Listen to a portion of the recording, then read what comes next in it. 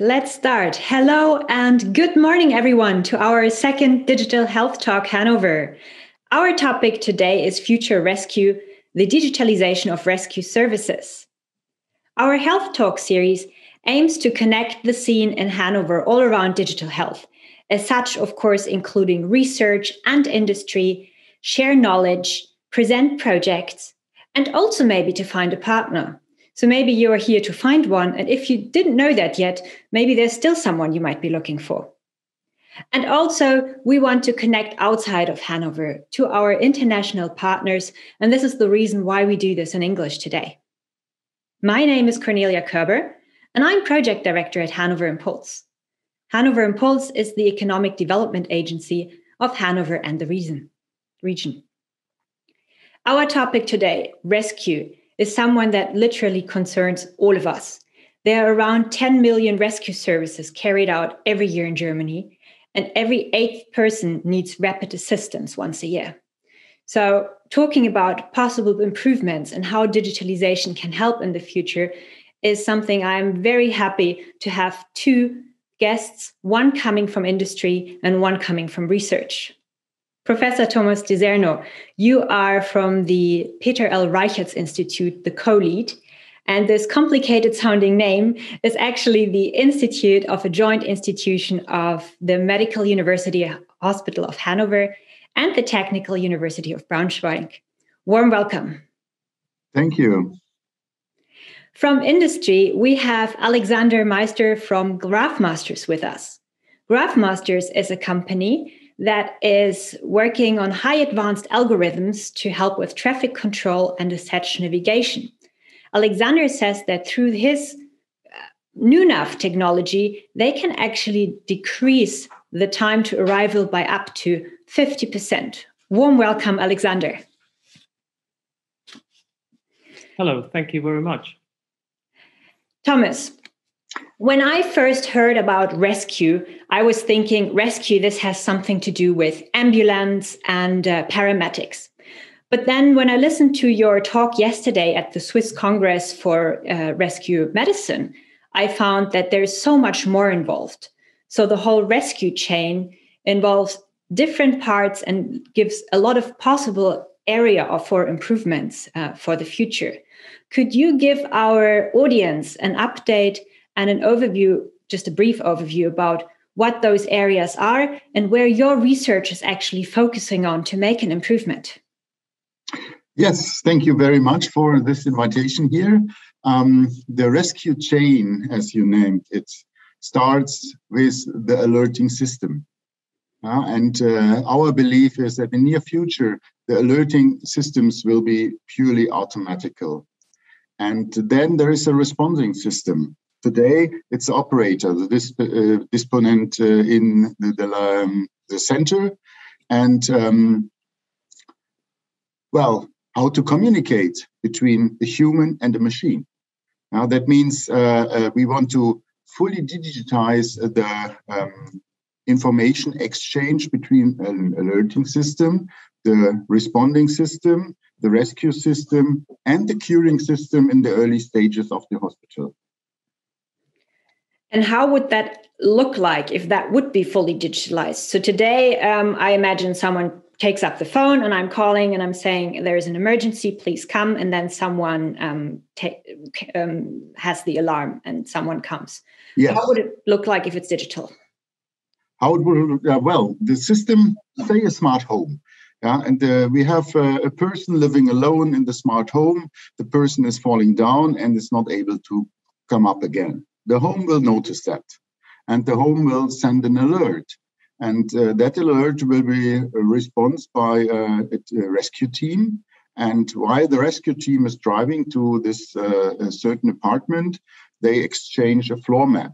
So the rescue team knows how the apartment is built uh, in which room um, it happens and where to go in order to find this room most uh, um, yeah most timely and maybe um, the apartment knows when the rescue team arrives. Um, they can exchange door opening codes or uh, other things. Yeah, and once uh, the patient is in the ambulance, uh, uh we want to transfer um, uh, vital signs, uh, maybe we can also transfer vital signs from the apartment to the rescue team. And for all this, we do not have interfaces yet, and we do not have the appropriate coding of all this information. And that is what we are developing. Um, also, um, how to make such a conversation between machine and machine secure, such that uh, health information of individuals are not uh, exposed to um, others. Wow. So, this is a truly complete new way of how an emergency call would look like and how data gets transferred. Yes. If I'm now thinking about the actual way of the ambulance, what I was initially thinking, this is something where Alexander Meister comes in. That even though Graphmasters is not directly a company focusing on rescue, by being able to shorten the distance for the ambulance and the time by up to 50%, that yet would make a huge difference. Alexander, could you let us know how you actually make this possible and why NUNAV is different than if I would just take my smartphone and bring up the classic maps function? Okay. Well, what you what you actually what you need to have is you need to have a navigation device in the palm of your hand, which can not only guide you as the driver of the ambulance where you have to go to and and actually knowing at what time you will be arriving at the scene you will also need what we call a free road and the free road basically what we did is we partnered up with one of the companies who is actually one of the first licensees at the 5G campus at Deutsche Messe AG. Uh, it's SMEF, it's the SMEF AG. And actually, we help them to to achieve this uh, this uh, 50% increase in arriving at any emergency scene in in a given city. And by doing so we not only help the emergency vehicle to to let's say to to have a green light we also enable all the other vehicles which are just in front of the emergency um, vehicle to get away or simply by telling them do not drive on one of these streets because currently there is a situation with an ambulance going on. Mm-hmm. So for this, you need a navigation device, which is what we call fully equipped uh, in a in a collaborative way of doing intelligent uh, transport system. So it's a CITS device actually that you hold in your hands, and this CITS device uh, together with our partner is then connected to their services. So we know at any instance uh, where one of the ambulances is actually is, is going to and is heading and which corridor is it taking and how many traffic lights are they uh, crossing at a green light. So we, we try to make all this happen yes. So this is also a lot of information that needs to be processed there and analyzed. I'm wondering now how many participants on the road do you need with your system in order to make it work? Well, actually, you only need one person uh, on the system, and that's the ambulance, because the ambulance actually will generate a green wave throughout throughout the corridors or throughout the roads that they will be taking. But of course, in order for an ambulance to arrive at on a smooth ride, let's say to to one of these green lights, you need other cars uh, just to, to to part away. And this is what we try to aim for. And and in this i guess we need uh, we need a coverage of about 5 to 10% in any city in order to achieve this. But this is ongoing research indeed yes. Mm-hmm. so now i heard from both of you that by um, integrating data and um, analyzing and, and really transferring ways of how we do things. On the one hand, now changing an emergency call to a smart setting, to changing the way of the ambulance into a smart setting. This, this is future room for improvement. Could both of you give a short glimpse of how a perfect rescue system would look like in the future? And maybe how you could even collaborate with each other for achieving this? Uh, shall I start? Of course. sure. Yeah. You're the expert. so, um, well, in, in, in the vision I already um, pictured, yeah, um, I, I think there's a, um, after the call has been given, uh, a, a human-equipped uh, rescue team, maybe in future a robot-equipped rescue team. But anyway, a team needs to approach the site. Uh, and that is where Graphmasters uh, come in and uh, their smart system, just to um, decrease the time between uh, alert and rescue. And uh, the time between this uh, we will use in order to exchange valuable information such that the rescue team is optimally prepared. Uh, and uh, as I mentioned, that can be um, some, you know, um, video pictures at least. Yeah, how looks it uh, the site? How is the site composed? How looks it? Um, floor maps, uh, uh, door opening mm-hmm. codes, any other um, vital signs that might be recorded in that smart apartment uh, from a distance. That all needs to be transferred such that uh, the rescue team knows what to do. Alexander, what's your take on this?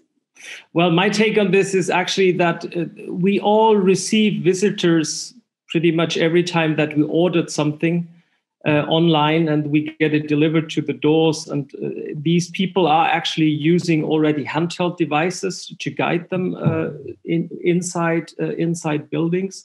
But of course, at least some of them, they do also uh, use a very intelligent navigation system on board to get them there and i think this is the this is a joining up. So what you need to do is you need to have the device that tells you on the road um, where is the accident and how to get there by the fastest possible means. Uh, i can think of uh, if you have an inner city thing then of course you need to have a green wave uh, flowing through where you just be able to be at the at the scene where you need to be very quickly. But if you think of an accident somewhere on the motorway, and then you need to actually know is it at the end of the of the accident scene or in the middle or at the beginning so so you really need different and device systems where you can tell one car you go to the back the other one you go to the middle and the next one you go in front so you really need the conversion of the technologies and and the different uh, the different stakeholders into into one single intelligent system. Exactly, that was some, something that I was thinking about the the pile up, the mass pile up. There's a good German word for it. It's a Massenkarambolage. It's yeah. tricky for an English person to uh, to get, get this. And yeah, exactly. So this is the situation that I tried to describe. Massenkarambolage. Yeah uh, yeah, really, that, that's you have, called pile, pile up in English. Pile yeah, up. And so it's an uh, okay. excellent, uh, excellent example, actually. Um, um, the first rescue team arriving on the motorway uh, where a pile up is, yeah, you need to decide which car help, needs help first, which is a real bad and and uh, um, yeah heavy decision for these people. However, if you think of uh, such a pile up, now, um, and all the sensors equipped, uh, the cars equipped with sensors. Um, um, the cars would know which one is having uh, uh, or um, appearing the most heavy forces and where um, the um, uh, occupants of the car are most badly hurt. So that information is available with our technology today, yeah, but it cannot be transferred to the rescue team. And that is what we are working on. So, this is a perfect setting for me that it sounds a collaboration between the two of you and the areas that we work on would make a, a lot of value and contribution to help in this uh, specific severe case uh, where with pileups we have a lot of life threatening situations usually. Mm-hmm. Um, when, when we think about the uh, the situation on a motorway. Also, quite frequently, Germany is a big transit country with north, south, east, west, uh, a lot of lorries, trucks driving around uh, outside of pandemic, also tourists. Um, not, not everyone that gets involved into an emergency is a, a German speaker. And this uh, emergency call, um, how can technology help us to facilitate this? Well, um, that, that's obvious. Yeah, so right now you need uh, to have operation centers with human operators being able to understand the language. Uh, once you have the communication um, fully digitized, uh, then you have uh, one language, which of course needs to be spoken, uh, say that way, by all the systems. but this is uh, how um, our entire world, the digital world, is working. you have standards, and information is communicated based on those standards. And uh, there is no language problem anymore. That would be definitely a fantastic solution.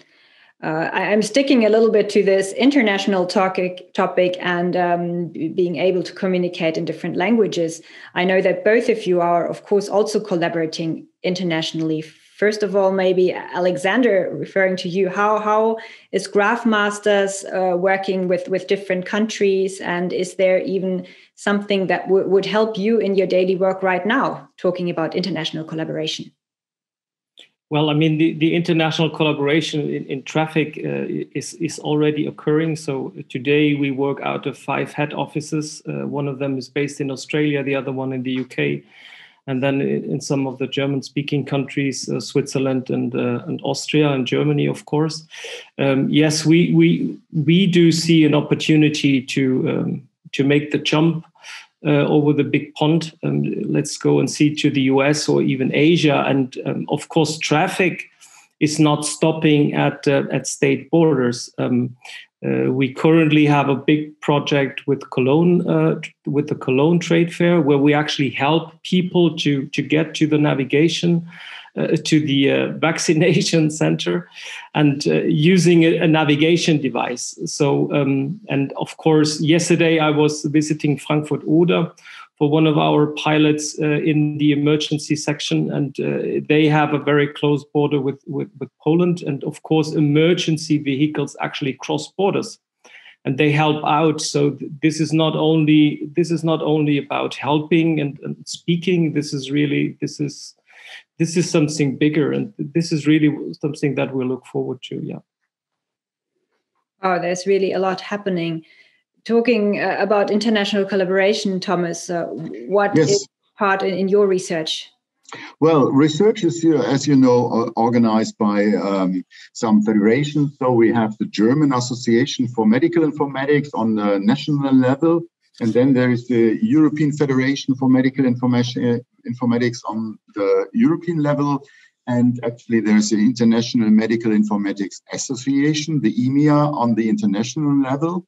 And um, well, by accident, say it that way, in a double meaning, um, I'm, I'm the German representative in the international uh, association. And um, on uh, in 2018, we formed a working group within the IMIA on accident and emergency informatics. And uh, there are researchers uh, um, distributed all over the world uh, collaborating and, and thinking of uh, how rescue services can be made more efficient in near future. So um, we are pretty good uh, connected internationally. Yeah, and regarding the terminology and standards, how to interchange the information, which is not only medical. Yeah, it's it's also floor maps and, and these things. However, we need to um, establish standards uh, that we learned in the past is very, very important. And that is done in collaboration with the WHO, the World Health Organization. Great. Thank you for letting us know you there. Is there already a certain point where you would say it would make sense, sense for someone in the audience to reach out to you some part angle of a research project uh, where you would like to have more information on or um, or a best practice example from a different country that would make sense to be involved with well uh, i learned in my uh, past as a researcher uh, it's always good to talk with people. Uh, it's always good to get uh, uh some idea of a different point of view to the same problem. So anybody, anybody is invited to get in contact with me. Um, not tomorrow, maybe today or yesterday. So anytime. it's it's this is how research is working. It's uh, uh, always yeah. interchanging and uh, discussing things with other people. So we will share the contact data later for this. Certainly, yes. Perfect. Yes, please. Um, Alexander, I quickly want to come back to a project that you mentioned in Cologne. It doesn't have completely to do with rescue, but it's still in the bigger scene. So you mentioned the vaccination centers and that you're organizing the traffic. Uh, what is exactly happening there and how does uh, your technology facilitate the traffic flow to those centers? Could you briefly let us know what's happening there? Yeah sure. So what we try to do with our navigation technology is we try to provide what we call a seamless customer journey for anybody to get from from its yeah from from home to its, its destination. And what happens at cologne trade fair is really you only you go to a website and you say i want to go to the vaccination center and then very often you stumble across a card or you get a you get a street name with the with the number on it and then then you get into your car and then who decides which road that you're taking. And actually we take away all that hassle you simply scan scan um, a QR code. Then the NUNAV application will tell you through live traffic data where you have to go, which road you have to take, and once you are in nearly in front of, of the Cologne Trade Fair, there are also LED signs, and the LED signs and the navigation device together, they will tell you now, please turn right or please turn to the left. And of course, a navigation device can also remind people what type of papers do they need uh, mm. to get the vaccinations and stuff like this. So this is really about making people more comfortable and the very, very tiny fraction of of how we can actually help throughout this throughout this uh, pandemic. So I, I briefly summarize here a little that on the one hand, I as a uh, citizen can download the NUNAV app and use it for my own um, good means. And that, by the way, is uh, for free and is ad free as well. And if I'm uh, a municipality or if I'm someone organizing big events and I want to organize a big traffic flow, then I can get in contact with you and design a big concept around it. Did I exactly. put this correctly? Good. Yeah. just to be sure here. Yeah. Um, uh, um, maybe just to add, I, I, don't think we have talked about this, but uh, I know. So um, uh, for the audience to explain the difference between the different navigation systems, yeah, um, uh, Google uh, always point us uh, some detours. Yeah, and then the detour may be also overloaded. Um, the, the new and more intelligent system now that uh, um, optimizes uh, or not try to optimize your journey, it tries to optimize the journey for everybody. Yeah. Um, and and uh, I think this is a, a, the advantage that people need to understand. Yeah, so at the end, you're faster yeah, with optimization for everybody rather than just trying to uh, get the detour. Um, yeah. One year. So, uh, so it's called it's this is really this is i mean this is my core. So yeah, yeah. it's it's called the swarm intelligence. Uh, we call this balancing of traffic and keeping road authorities and road members and even even people behind behind the wheels. They are all on the same level on based based on the information that our algorithms or our system actually calculates. And this is what the NUNAV world really does for people yeah. It helps people to get faster from a to b. It helps the environment because we're we're we're using our infrastructure a lot a lot better. And at the same time uh, everybody gets to where he or she wants uh, faster yes. Right. This was a good summary. Both of you very, very brief because we're unfortunately running out of time. If you had one wish from the audience or in general that helps your work, what would that be? Uh, I need to start. one wish. I'm not prepared. You're not prepared, Alexander. No, sorry about that, but uh, uh one wish no, from the audience. Um, think of the idea and uh, um, be uh, friendly towards new technology. Thank you, Alexander. What about you? Yeah, I, I would hit in the same curve. So uh, just give new technology a chance. Reach out to us. Um, I'm I'm very happy to to listen to uh, to pretty much everything, and we will decide later what we're going to do together. Thank you. On this note, we already said about uh, contacting you. We can have the contact information now uh, coming in. Uh, both of you are available on their email. So am I. If you at home would like to reach out to me and uh, have questions or even be my guest, please get in touch.